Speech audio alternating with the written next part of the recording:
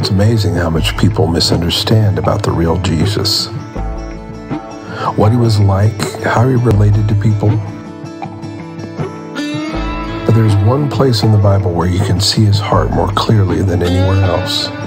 Out of all the people who wrote firsthand about Jesus, one man looked past outward events to peek into his heart and see what motivated him.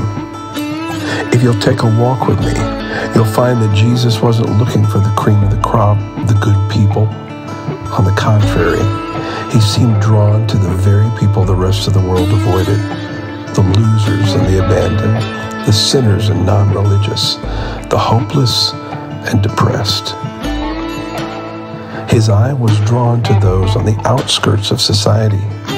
He loved the fact they weren't ashamed to say they were broken and needed his help.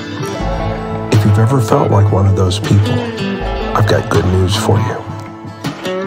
It's a message straight from God Himself, delivered right out on the streets in the open where we live and work every day.